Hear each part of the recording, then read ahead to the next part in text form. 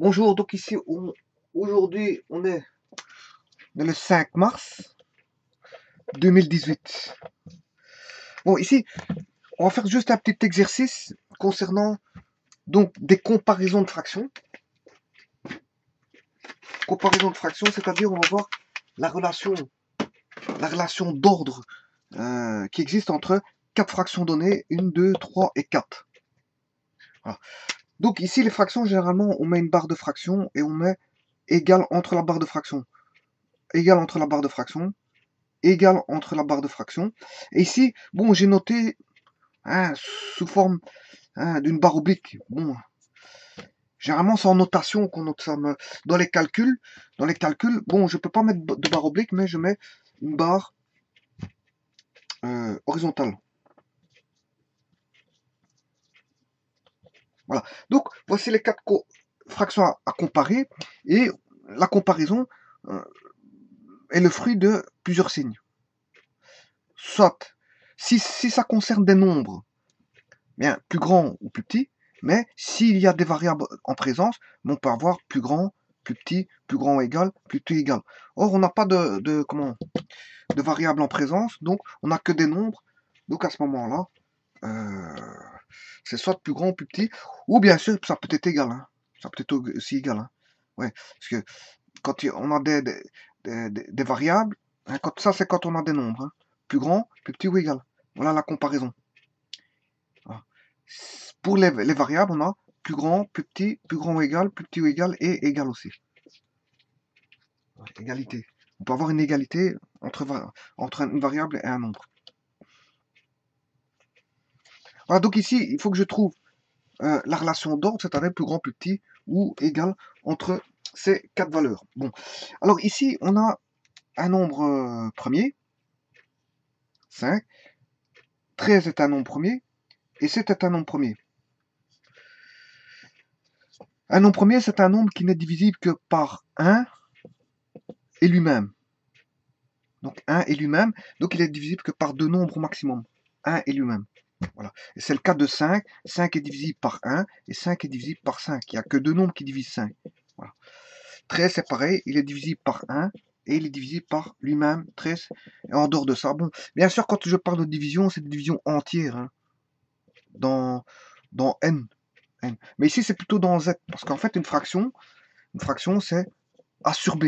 Avec a appartenant à z et B appartenant à Z0. Autant dire que moins 4 tiers est une fraction négative. Moins moins 4 tiers est une fraction positive, parce que moins par moins ça fait plus. Donc en fait ça fait 4 tiers. Donc moins moins 4 tiers est une fraction négative. Euh, positive, pardon. Donc on peut avoir des fractions négatives, positives ou nulles.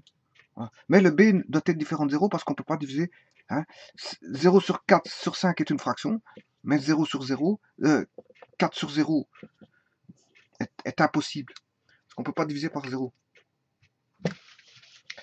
Bon, trouvons la relation d'ordre entre 5 douzièmes, 6 treizièmes et 7 quinzièmes, 45 centièmes. D'abord, voyons voir s'il y a une possibilité de simplification entre 5 et 12. Non, il n'y a pas de facteur commun entre 5 et 12, donc ça reste comme ça.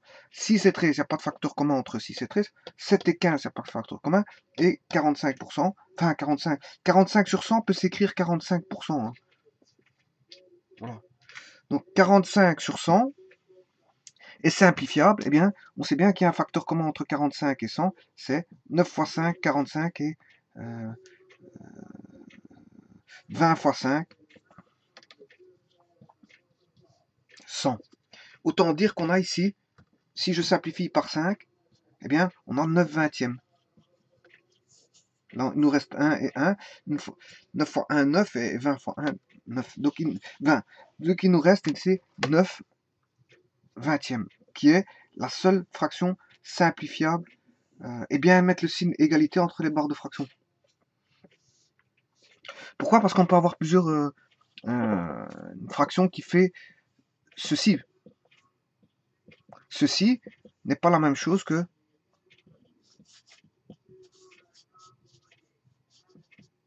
la barre de fraction est ici, donc il y a un ordre, je veux dire, au niveau des, euh, des divisions. Donc voilà pourquoi on, oblige à, mettre euh, l'égalité entre la barre de fraction pour bien euh, montrer la barre principale où se trouve la barre principale par rapport aux autres fractions euh, qui sont au-dessus de la barre principale et en dessous de la barre principale. Alors ça c'est pour la petite histoire, pourquoi mettre le, la barre de fraction entre le signe égal. Maintenant, commençons à voir qui va être plus grand ou plus petit. Eh bien, la première méthode, c'est de prendre sa machine et de faire directement la division pour avoir d'un nombre qu'on appelle fractionnaire, A sur B est une fraction, hein, euh, avec A appartenant à Z et B appartenant à Z0. Donc, on ne peut pas avoir B valant 0. Mais A peut être positif ou négatif et B peut être positif et négatif, mais c'est un entier. Donc, on va passer d'un nombre purement fractionnaire à un nombre rationnel. Q. Un nombre rationnel, c'est tout nombre qui peut se mettre sous forme de fraction. Donc, on va passer d'un nombre fractionnaire pur à un nombre euh, rationnel. Et pour ça, il suffit juste de faire la division. Si je fais 5 divisé par 12, j'ai 0,41666 et on a bien un nombre périodique illimité qui est bien un nombre qui peut se mettre sous forme de fraction. Si je prends 6 divisé par 13, c'est 0,46, 15, 38, 461.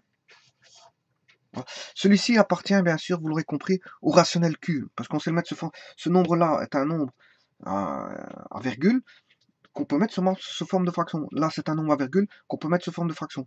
Donc, il appartient à Q. Alors, cette quinzième,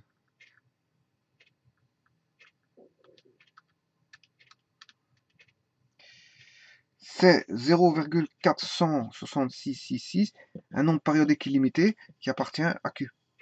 Et là, 9 vingtième, 9 divisé par 20, c'est 0,45 qui appartient au rationnel Q.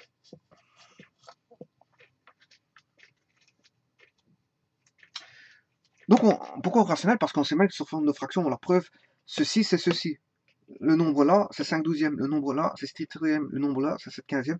Le nombre là, c'est 45 euh, centièmes. Ouais, j'ai calculé à la machine, mais j'ai pas besoin de calculer à la machine, à la machine parce qu'ici, on a bien un nombre décimal. qui est C'est un nombre rationnel et en même temps, il est décimal.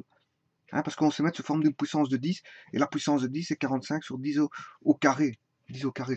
Donc c'est un nombre décimal, ça veut autant dire qu'on aura tous des zéros qui vont, euh, qui vont faire la période. Qui vont faire la période. Et donc 45 centièmes, mais se dit, si j'ai ceci, ça c'est 4 dixièmes, et ça c'est 45 centièmes. Donc 45 centièmes, j'aurais pu l'écrire directement comme ceci. Bon, à partir d'ici, on peut déjà faire la première comparaison et de se dire que qui est plus grand? Là, on a 0,41. Si je donne un ordre avec une valeur, 0,41 est plus petit que 0,46, qui est plus petit que 0,46, qui est plus petit que 0,45. Bon, ici, je vais d'abord regarder la première décimale. Ils sont tous à 0,4. 0,4, 0,4, 0,4, 0,4. C'est normal. Pourquoi? Parce que ces fractions, elles sont fort proches. 5 douzièmes est fort proche de 6 treizièmes qui lui est pour proche de cette 15e, qui lui est fort proche de 9 euh, vingtièmes. Donc, en fait, on a affaire à des, fractions très proches les unes des autres. Donc, si elles sont proches, on va regarder la deuxième décimale. Ici, on a 1, là 6, là 6. Mais là, il faut comparer les centièmes entre ces deux-ci. Parce qu'on a 6 et 6 en centièmes, donc il faudra aller regarder les millièmes. Les millièmes, là, on a 1 et 6. Voilà. Donc ici, on va regarder entre 0,41, 0,46, 0,46, 0,45, quel est le plus, le plus petit, le plus, euh, le plus petit, le plus petit, je vais le mettre dans l'ordre décroissant. Donc dans, dans l'ordre décroissant, là, et là dans l'ordre croissant. Je vais d'abord faire dans l'ordre décroissant. Dans l'ordre décroissant. Ici, dans l'ordre croissant. Si ça, j'appelle ça la, la fraction numéro 1, la 2, la 3 et la 4. Euh,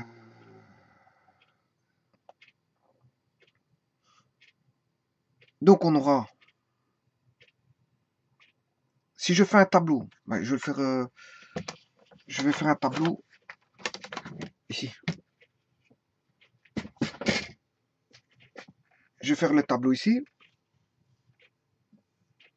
Là, je vais le mettre dans l'ordre l'ordre décroissant. Et là, dans l'ordre croissant. Décroissant, c'est du plus petit, du plus grand au plus petit. Alors que croissant, c'est du plus petit au plus grand. Alors, on a décroissance du plus grand au plus petit, donc je vais faire du plus petit au plus grand dans l'ordre croissant. On a 0,41, puis 0,45, c'est d'abord celui-ci en premier. Le plus petit, c'est celui-là.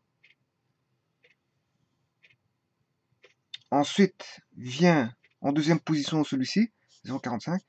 Ensuite, on compare ces deux-ci, entre 0,465, 61 0,466, mais c'est 0,461 d'abord, et puis ensuite le dernier, le plus grand, qui est 0,466. Donc, dans l'ordre croissant, euh, du plus petit au plus grand, dans l'ordre croissant, on aura 5 douzièmes.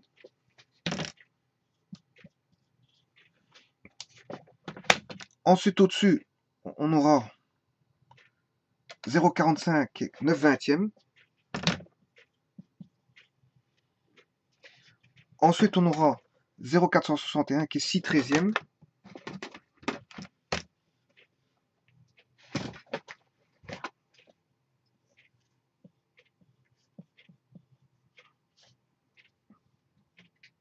Et puis le dernier,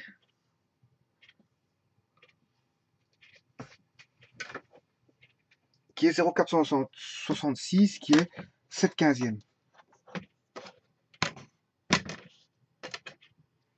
Donc je passe 7 quinzième. Voilà. Et là, c'est... Je le mets en, barre oblique parce que c'est juste une notation. Je ne fais pas de calcul avec. Donc je peux les mettre en barre oblique pour gagner de la place. Hein. Donc je peux écrire par exemple 5 douzièmes. 5 douzièmes. C'est juste une notation, je ne fais pas de calcul avec. 9 vingtièmes. 6 treizièmes. Et 7 quinzièmes. Qui est le, qui est le, plus petit? Mais c'est celui-ci. Donc ici, c'est du plus petit au plus, plus grand. Maintenant, en décroissant, ben c'est l'inverse. Le tableau va s'inverser. La colonne va... Voilà, on va avoir une inversion ici on aura 7 quinzièmes d'abord, qui est le plus grand, 6 treizièmes qui vient ensuite, 9 vingtièmes et 5 douzièmes. Voilà. Maintenant, l'écriture, comment va s'écrire l'écriture? Dans le sens croissant. Dans le sens croissant, on aura du plus petit au plus grand, on va le faire dans le sens décroissant, du plus grand au plus, du plus grand au plus petit. Du plus grand au plus petit, dans le sens décroissant. Ben, on aura plus grand, c'est cette quinzième. Là, on va du plus grand au plus petit. Cette quinzième est plus grand que 6 treizièmes, qui est plus grand que 9 vingtièmes qui est plus grand que 5 douzièmes. Alors, en, en sens croissant, c'est le contraire. C'est du... Euh, là, on a fait dans le sens décroissant, décroissant, du plus grand au plus petit. Donc, du plus grand plus petit. Maintenant, du plus petit, 5 douzièmes est plus petit que 9 vingtièmes, qui est plus petit que 6 treizièmes, qui lui est plus petit que 7 quinzièmes. Il suffit juste dans l'ordre croissant. Le plus grand, le plus petit, c'est 5 douzièmes. Voilà. Et là, le plus grand est là. Donc, on a du plus petit au vers le plus grand, en lecture vers la droite du plus petit au plus grand. 5 douzièmes est plus petit que 7 quinzième. Voilà. Alors maintenant, ça c'était pour la première méthode. Bon, la seconde méthode. La seconde, méthode, je vais le faire par, euh, par soustraction. Donc la première méthode, c'est par division. Je vais le marquer ici. Méthode 1.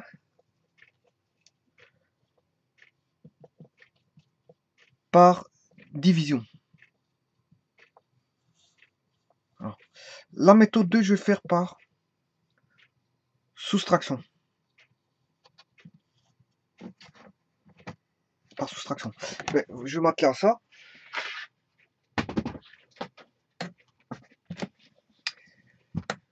Par soustraction, donc j'ai les fractions 5, il faut que je les, réécrive, 5 douzièmes.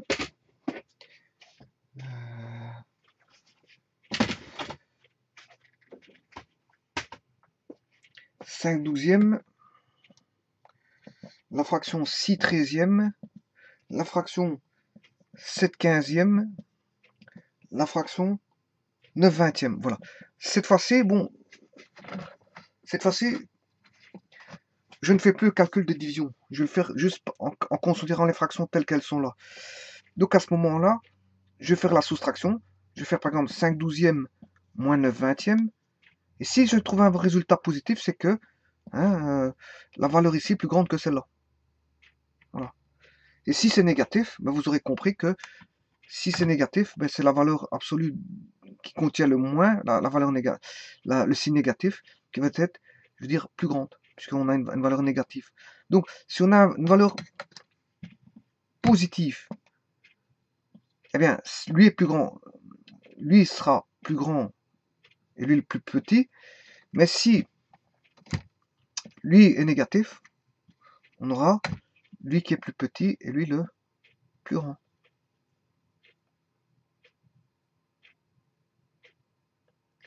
Voilà. Alors, on va faire ça, on va comparer je vais comparer 5 douzièmes moins 6 treizièmes, 5 douzièmes moins 7 quinzièmes, 5 douzièmes moins 9 vingtièmes. Alors je peux comparer 6 treizièmes moins 7, 7 quinzièmes, 6 treizièmes moins 9 vingtièmes, et puis je peux comparer 7 quinzièmes moins 9 vingtièmes. Voilà, et tirer nos conclusions. On va faire ça tout de suite. Alors, ici, enfin, j'aurais dû reculer. Ou je peux faire mes calculs ici. Je vais faire les calcul ici sur le côté. Euh, donc, 5 douzièmes moins 6 treizièmes. Ben, si au même, même, dénominateur, 12, fois 13, on aura 5 fois 13 moins 6 fois, 6 fois 12.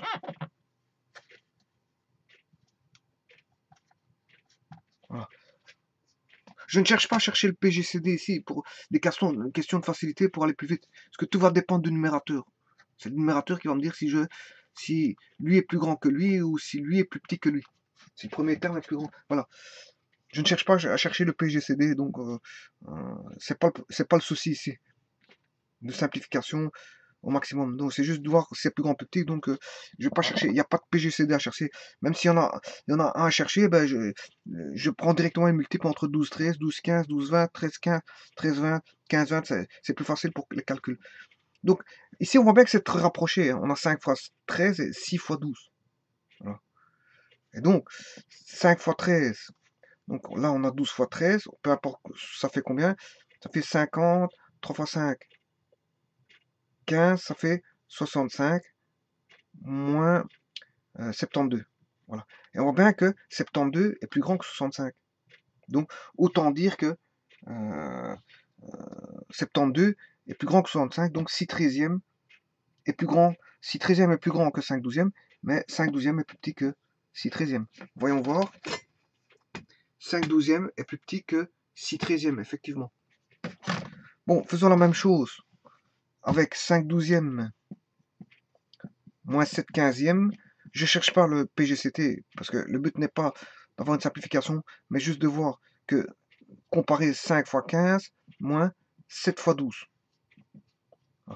5 fois 15, 5 fois 5, 5 fois 10, 50, 5 fois 5, 25, ça fait 75, moins euh, 70, 7 fois 2, 14, 84. Et on voit bien que 84 est, plus grand que 75, autant dire que 7 quinzième est plus grand que... euh, parce qu'on va avoir une, valeur négative. hein. Hein, Celui-ci est plus petit que celui-là, donc on a une valeur négative. Donc ça veut dire que 7 quinzième est plus grand. Donc euh, 5 douzième est plus petit. Voyons voir. Est-ce que 5 douzième est plus petit que 7 quinzième Effectivement, c'est vrai. Maintenant, faisons 5 douzième moins 9 vingtième, ce qui fait 12 fois 20, c'est 5 fois 20 moins 9 fois 12. 5 fois 20, ce qui fait 100. 9, 9 fois 12, euh, 108. Et on voit bien que 100 est plus petit que 100. 100. Ceci, c'est une valeur négative parce que 100 est plus petit que 108. Donc, autant dire que 5 douzième est plus petit que 9 vingtième. Et on voit 5 douzième est plus petit que 9 vingtième, effectivement. Alors maintenant, voyons voir 6 treizième et 7 quinzième. On fait x 13, x 15, 6 fois 15, moins 7 fois 13. Là, on va faire 13 et 20. On va regarder 6 fois 20, moins 9 fois 13. Égale 15 fois 20, 7 fois 20, moins 9 fois 15. Et voilà. Ici, on aura toutes les comparaisons possibles. Alors, 6 fois 15. On voit bien que c'est encore proche. Hein. 6 fois 15 et, et 7 fois 13, c'est fort proche. hein. D'où, hein, on voit bien qu'on est fort proche de... euh, les fractions sont fort proches les unes des autres. On voit ici tout de suite. 6 fois 15. Bon, euh, 6 fois 10, 60. 6 fois 5, 30, ce qui fait 90. Moins sur le dénominateur qu'on n'a pas besoin, sur le dénominateur qu'on n'a pas besoin, sur le dénominateur qu'on n'a pas besoin. Et là, on fait 7 fois 13. Ça fait 70. Euh, 7 fois 3, 21, ce qui fait 91. Donc autant dire que 6 treizième est plus petit que 7 quinzième, puisque 90 est plus petit que 91. Le suivant, 6 fois 20, 120, moins 9 fois 13, 108, ça fait 117, 108 et 9, 117, ouais, 9, 18, 27, euh, 27, 90 et 27, 117, c'est juste. Donc ici, là, la fraction est positive, donc on a ceci. Et la dernière, 7 fois 20, 140, 9 fois 15, euh, 117, 117 plus 18, euh, ouais, 5, euh, 135. 135. Voilà. Voilà, ça fait 135. Et la, fraction, elle est, le résultat de la soustraction est, positif, donc 7 quinzième plus grand que 9 vingtième. Voyons voir. Est-ce que 5 douzième est plus petit que 6 treizième Ben ouais, on l'a vérifié tout à l'heure. 5 douzième est plus petit que 6 treizième. C'est vrai. 5 douzième est plus petit que 7 quinzième. C'est vrai. 5 douzième est plus petit que 9 vingtième. C'est vrai.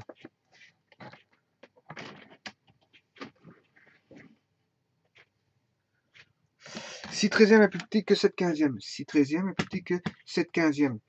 C'est vrai. Six treizième est plus petit que A. 9 vingtième. Là, peut-être qu'il y a une erreur. On va le refaire, celui-ci. Euh, on fait 13 fois 20. 6 fois 20 moins 9 fois 13. 6 fois 20, 120. Et 9 fois 13, 90. 90 et 9, 18, 27, 117. Donc, fraction positive. Donc, 6 treizième est plus grand que 9 vingtième. Donc 9 vingtièmes plus petit que 6 treizièmes. Ah ouais, si 6 treizièmes est petit, plus grand que 9 vingtièmes, si un bon nombre est plus petit qu'un autre, eh ben, cet autre, est, cet autre il est plus grand que ce petit. Ah, c'est juste ça. C'est une lecture qui se fait de gauche à droite. Et donc, euh, si un monsieur est plus grand, si monsieur A est plus petit que monsieur B, eh ben monsieur B est plus grand que monsieur A. C'est un peu la même chose. Si 6 13 est plus grand que 9 vingtièmes, 9 vingtièmes est plus petit que 6 treizièmes. Et donc, on a bien 9 vingtièmes plus petit que 6 treizièmes. Et le dernier, 7 quinzièmes. 7 quinzièmes et 9 vingtièmes. 7 quinzièmes est plus grand 7 quinzième est plus grand que 9 vingtième, donc c'est juste. Donc à partir de là, je peux établir euh, euh, l'ordre. 5, 5 douzième est plus petit que 6 treizième. Donc on a 5 douzième plus petit que 6 treizième. Mais 6 treizième est plus petit que 7 quinzième. Voilà. Et euh, 6 treizième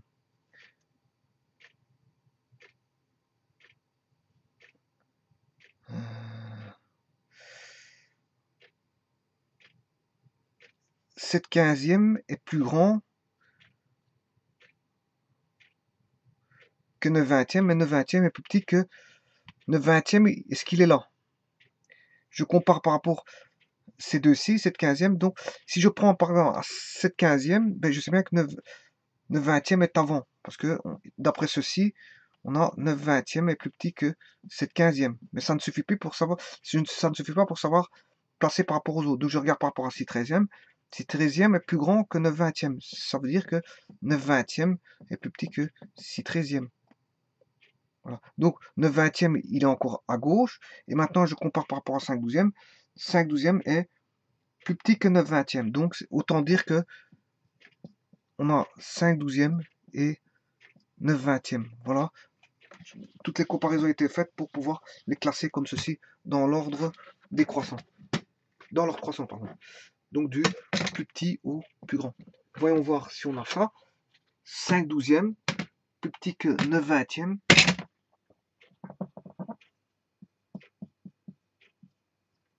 Plus petit que 6 treizièmes, plus petit que 7 quinzièmes.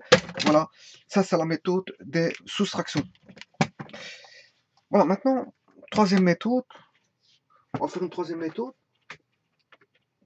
par euh, la méthode des, euh, on va dire, euh, par la quatrième proportionnelle, c'est-à-dire par la méthode des moyens, produit des moyens et le produit des extrêmes. Produit des moyens et produit des extrêmes. C'est un petit peu le calcul que je viens de faire, mais sans le dénominateur en fait, c'est juste ça. Donc on va comparer 5 douzièmes et 6 treizièmes. Vous voyez, avant on devait faire 5 douzièmes moins 6 treizièmes.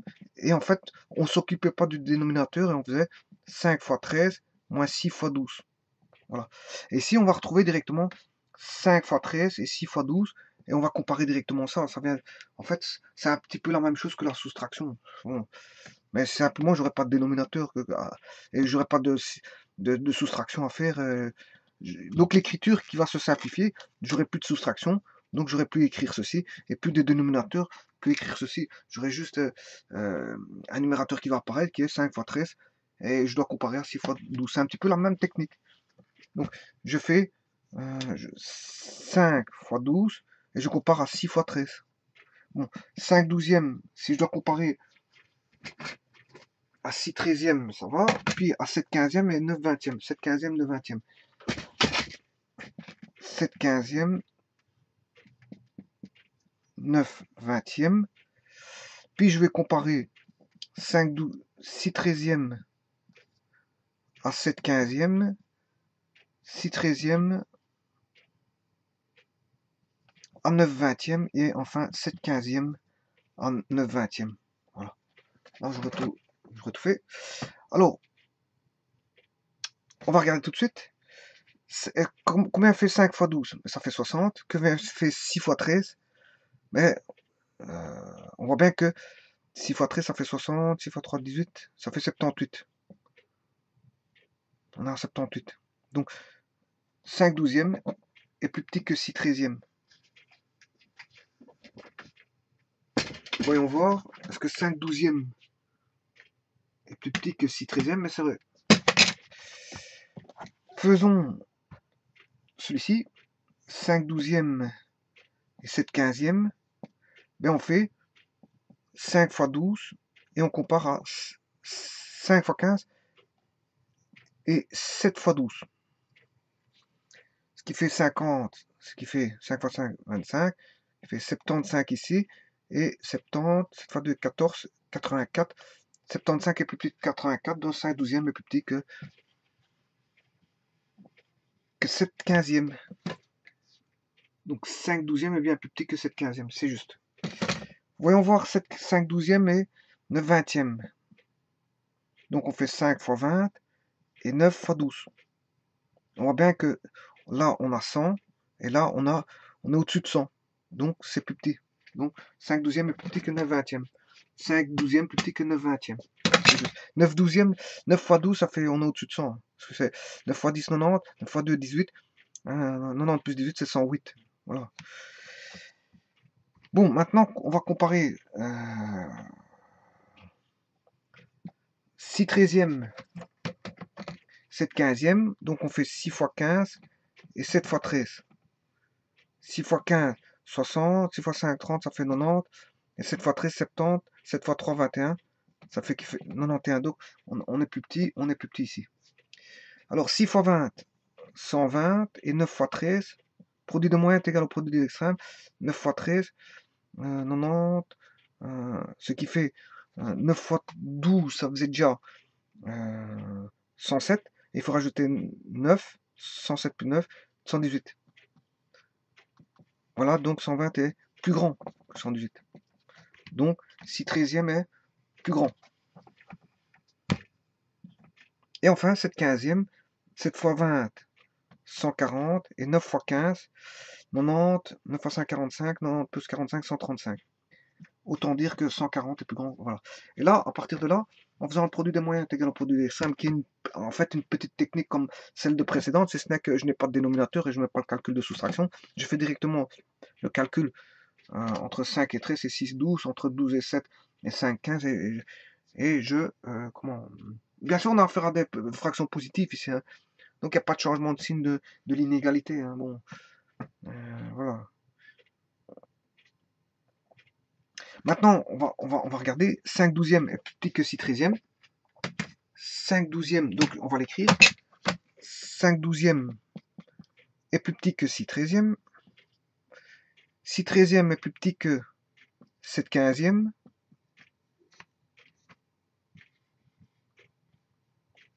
6 treizièmes est plus grand que 9 vingtièmes. 7 quinzièmes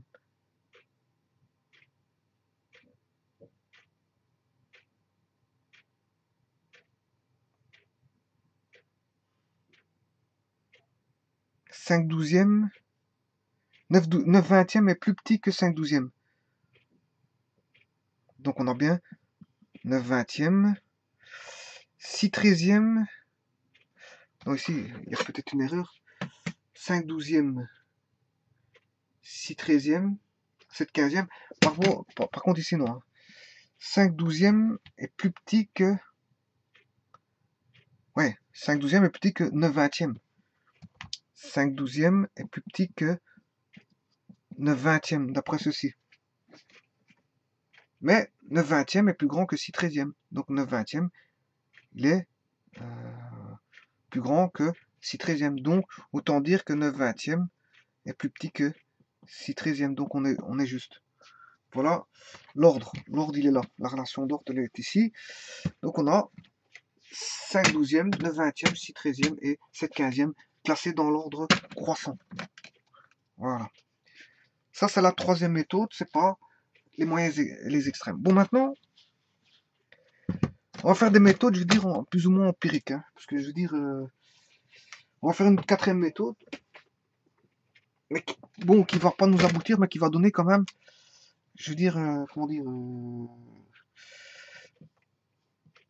qui va nous donner Enfin, celle, que je vais faire maintenant, c'est encore une autre méthode. Alors, euh, elle n'est pas empirique celle-là, je veux dire mathématique, mais il faut que je connaisse dire ce que vaut la fraction. Alors, la fraction ici, elle vaut 0,4. Ok. Elle est égale à celle-ci, 0,4. Elle est égale à celle-ci, 0,4, qui est égale à celle-ci. Vous voyez qu'elles sont fort proches. Donc, ici, il faut aller extraire cette partie-là. Voilà, je vais extraire cette partie-là, 0,4. Donc, je vais extraire 4 dixièmes. Extraire 4 dixièmes. Voilà. Donc, de 5 douzièmes, de 5 douzièmes, qui est égal à 0,4166666, voilà. voilà. 5 douzièmes.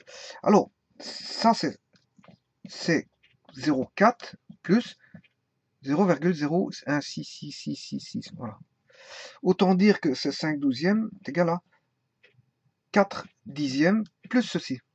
Donc, plus 0,0,66666. Voilà. Ce qui fait 5 douzièmes est égal à euh, moins 4 dixièmes est égal à 0,06666. Voilà. Et donc moi je comparer ceci en fraction. Ça je vais le mettre en fraction en faisant 5 douzièmes moins 4 dixièmes. J'aurai une fraction et je vais comparer les, diverses fractions ensemble. Voilà.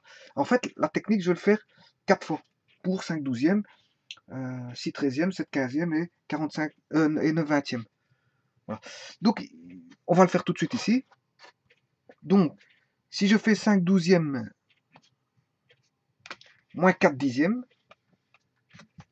faisons 5 douzièmes moins 4 dixièmes, ce qui fait, bon, si je mets en 120e, 50 moins. Euh, je fais pas le PGCD pour aller plus vite, hein, parce j'ai pas besoin de simplification. Simplification, je le fais après.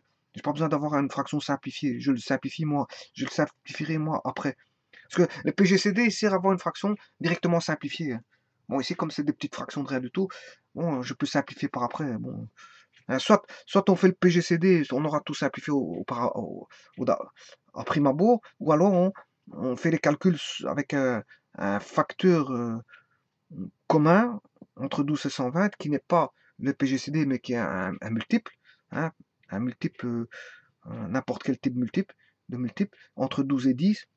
Voilà, j'ai trouvé 120, j'aurais pu trouver 240, j'aurais pu trouver 360, tralali, tralala. Il y a plein de multiples entre 12 et 10, mais j'ai pas pris le PGCD pour euh, éviter de chercher le PGCD et d'aller dans, le détail. Je veux dire, alors que bon, c'est des calculs simples, je simplifierai par après, et je prends deux multiples et je simplifie par après, c'est pas un problème. Moi, ça me pose pas de problème de simplifier des, euh, petits calculs comme ça. Maintenant, PGCD, quand on a des grands calculs, à ce moment on fait le PGCD pour essayer d'avoir une simplification au départ avec des grands nombres. Hein. Si on a des grands nombres au départ, hein, on cherche à simplifier les grands nombres pour avoir des petits nombres. Mais si des petits, des petits nombres, ben, ça, je m'en fous s'ils sont simplifiés ou pas. Je, parce que je les simplifie à la fin. Voilà, c'est ça que je veux dire. Donc ici 5 fois 10 moins 48, ce qui fait 220e et 220e, ce qui fait un 60e.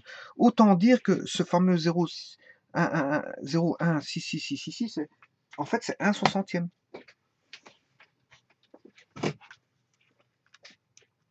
Donc, euh, 1 divisé par 60 fait bien 0, 0, 6, 1, 6, 6, 6, 6, 6, c'est le reste ici. Bon, alors,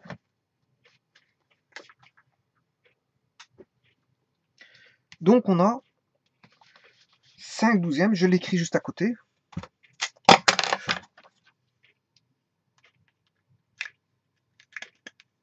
5 douzièmes, ça c'est égal à 5 douzièmes, plus, enfin 5 douzièmes c'est égal à quoi? C'est 4 dixièmes, plus, euh, on a des combien? 1 soixantième. Voilà. Faisons la même chose avec 6 treizièmes. Ben, 6 treizièmes, on a dit que c'était combien? 6 treizièmes. 6 divisé par 13. 0,46 15 38 461. 38 461. Ici c'est un 8. Hein. J'ai mal écrit, mais voilà, je vais faire un petit bonhomme de neige, comme ça on aperçoit vite que c'est un 8. 468.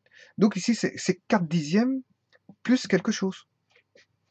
Donc c'est 4 dixièmes plus quelque chose qu'on a là. Eh ben, essayons de trouver ça. Ben, pour trouver ce qu'il y a là, on fait 6 treizièmes moins 4 dixièmes. Ce qui fait en 130e, je ne cherche pas le PGCD, ce qui fait 60 moins 4 fois 13, 40, 4 fois 3, 12, ce qui fait 52, 60 moins 52,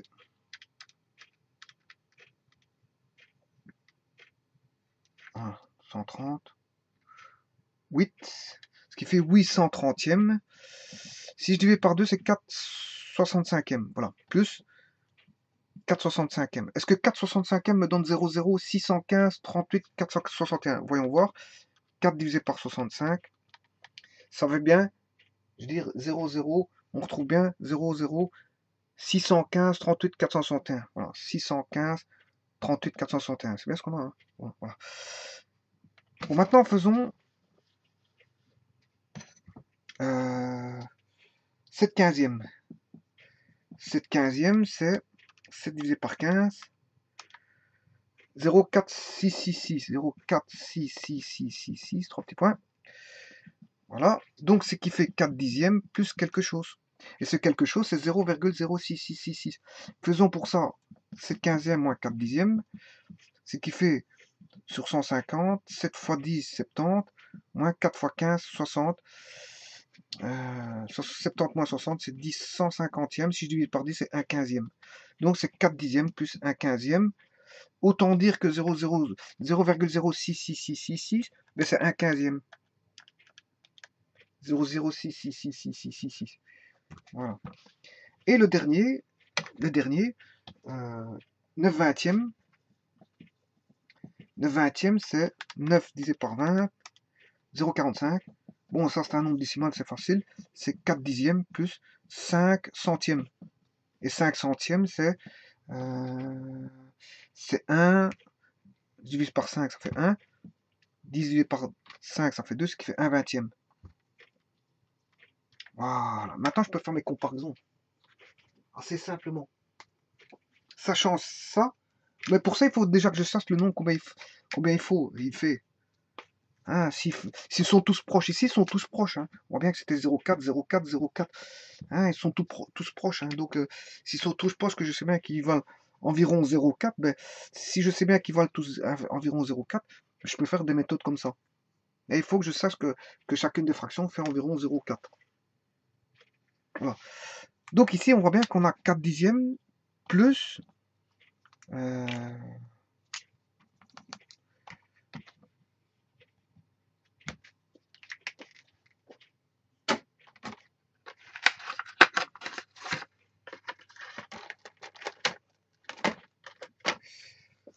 on a 4 dixièmes plus un soixantième. Mais 1, si je prends une fraction, fraction, plus, si une personne doit recevoir un morceau de tarte, plus il y a de personnes à partager, hein, et plus les morceaux de tarte seront petits.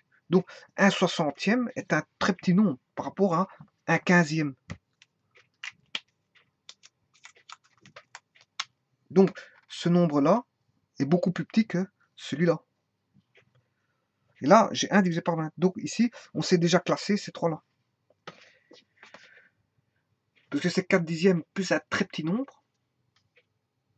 4 dixièmes plus un très petit nombre aussi, mais là, le 1, il est partagé en 20, alors que là, le 1 est partagé en 60. Donc, ce nombre-là est plus petit que celui-là. Et celui-là, c'est 1 divisé par... Euh, il est partagé, l'unité est partagée en 15. Donc, en fait, ce sera d'abord euh, celui-ci. Si je compare ces trois-là, le plus grand, ce sera euh, celui qui est moins partagé, c'est-à-dire celui-ci. Ensuite, celui qui est un peu encore moyennement partagé. Et puis celui-là qui est complètement partagé par 60. Là, il est partagé par 15, par 20 et puis par 60.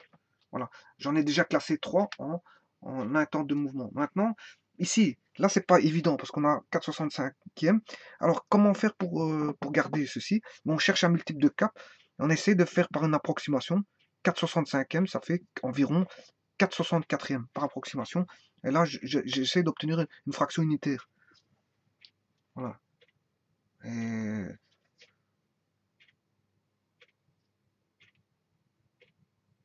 voilà, et 64, il y va. Donc, euh, euh, il va une fois.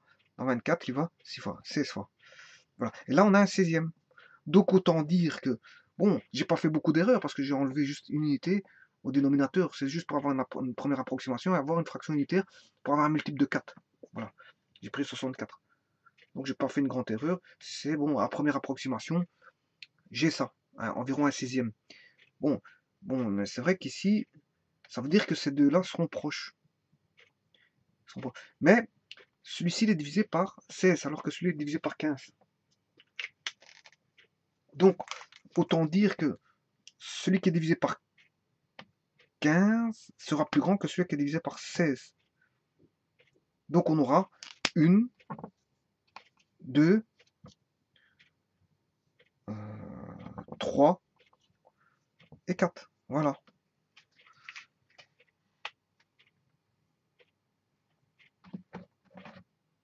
Voilà, comparer une, quatrième méthode, je dirais, ici, elle, fait intervenir empiriquement, je veux dire, euh, une approximation, mais, je veux dire, euh, je ne fais pas une grossière erreur, c'est juste pour voir euh, une, approximation, une première approximation pour comparer.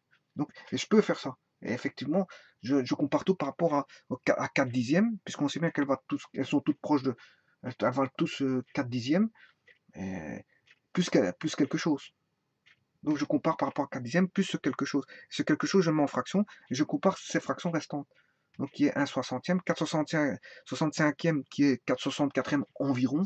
Et je peux déjà à partir de là, euh, je veux dire, euh, vérifier qui est plus grand, qui est plus petit. Donc ici, autant dire qu'on aura... Ça c'est 5 douzièmes. 5 douzièmes.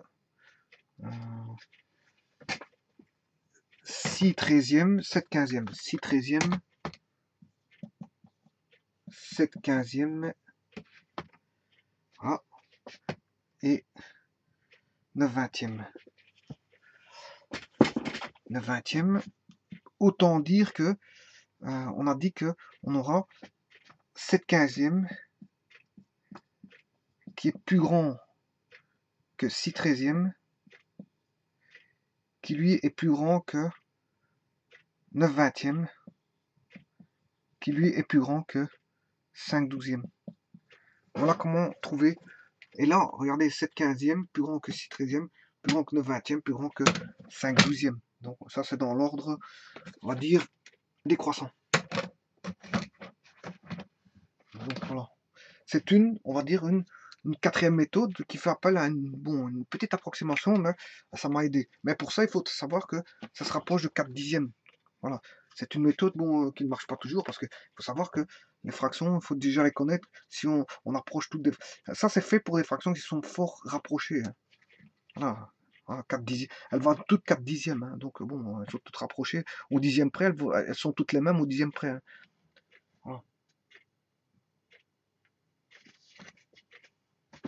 Dont deux qui sont les mêmes au centième, qui est 6 treizième et 7 quinzième. Chacune va vous au centième, 0,46, 0,46. Donc elles sont les mêmes, c'est dessus au centième. Bon, alors maintenant, une troisième méthode, mais bon, elle va me tirer juste des conclusions pour deux, et non pas pour euh, les quatre. Voilà, donc il faudra faire peut-être un mélange, un mélange des quatre, un mélange de deux méthodes. Donc si je prends, donc on a 5 douzièmes, hein. 5 douzièmes, 6 treizièmes, 7 quinzièmes et 9 vingtièmes. Bon, on sait bien qu'elles se rapprochent tous. Vous voyez, on voit, on a 5, 6, 7. là, il, là, il manque le 8. Hein, il, manque, il aurait manqué un 8, un 8 et puis un 9. Voilà. Là, par contre, on a 12, 13. On a un saut de 1. Là, on a un saut de 2. Voilà. Euh, de 15 à 20, là j'ai un saut de 2 de 15 à 20, j'ai un saut de, de 5. Voilà. Donc autant dire que je peux déjà comparer ces deux-ci. Par des suites. Voilà, par les suites. Pourquoi? Parce qu'on sait bien qu'un huitième est plus petit que 2 neuvièmes, qui est plus petit que 3 dixièmes, plus petit que 4 onzièmes, qui est plus petit que 5 douzièmes, qui est plus petit que 6 treizièmes, qui est plus petit que 7 quatorzièmes, qui est plus petit que 8 quinzièmes le 15e. Alors, ça c'est une suite UN. le terme général qui est n sur n plus 7, avec n appartenant à z sauf 0. Donc si n vaut 1, on a 1.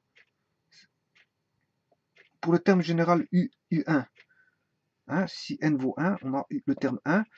Donc on aura 1, n vaut 1, sur 1 plus 7, ça fait 8, 1 huitième. Si le terme vaut 2, on aura U2, terme U2, donc n vaut 2, on aura 2, 2 plus 7, ça fait 9, on aura 2 neuvièmes. Puis si n vaut 3, ben, on aura U3, terme U3, là on a 3 sur 7 plus 3, 10, 3 dixièmes, et ainsi de suite. Donc euh, là on aura le terme U4, U4, U5, U6, U7, jusqu'à 8. Mais ici, en fait, 5 douzièmes. 5 douzièmes, c'est presque 5 dixièmes. 6 treizièmes, c'est presque 6 douzièmes. 7 quinzièmes, c'est presque 7 quatorzièmes. Et 9 vingtièmes, c'est presque 9 dix-huitièmes. Autant dire que ça, ça fait un demi. On n'est pas loin de, ceci. On n'est pas loin. En première approximation, on peut dire que ça fait un demi, un demi. On n'est pas loin de 1 demi. On n'est pas loin de 1 demi. On est proche de 1 demi. 0,4, on n'est pas loin de 1 demi. Voilà. On va dire, euh, je ne vais pas mettre environ, mais on va dire on n'est pas loin. On n'est pas loin de 1 demi. Voilà. Autant dire que ça, si je divise par quelque chose encore plus grand, par 12, mais je serais plus petit qu'un demi. Si je divise par 6 douzièmes fait un demi, si je divise encore par quelque chose plus, grand que 12, mais je serai plus petit qu'un demi. 7 quatorzième, si je divise par quelque chose plus grand que 14, mais je serai plus petit qu'un demi. Et enfin, si 9 18e, si je divise par 20, ben, je serai encore quelque chose par plus petit qu'un demi. Autant dire qu'on est plus petit qu'un demi. Donc dans ma suite ici, dans ma suite ici, mais je m'arrêterai à un demi parce que je suis borné par un demi. Voilà. Je, ne dépasse pas les 1 demi. On sait bien que toutes ces valeurs de fraction sont plus petites qu'un demi. Voilà. Donc fatalement, on est borné par un demi. Donc ici, voilà le terme de la suite générale, un égale n, n plus 7. Et en fait, à partir de là, je peux tirer la conclusion pour deux, deux fractions. Puisqu'on voit bien qu'on a ici 5, 6, on est là, 5, 6, voilà, et 12, 13. Donc on a bien 5 douzièmes plus petit que 6 treizièmes, et on en a déjà deux, dire euh, la comparaison de deux entre eux. Voilà.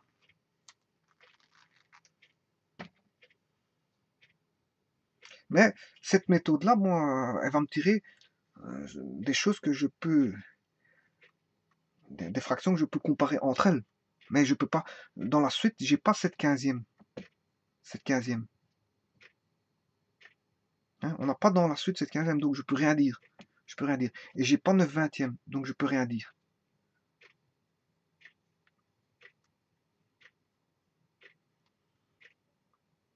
Donc, on peut comparer à l'intérieur d'une suite, mais bon, je ne peux pas aller chercher des éléments en dehors de la suite. Donc, je peux déjà faire ces deux-là.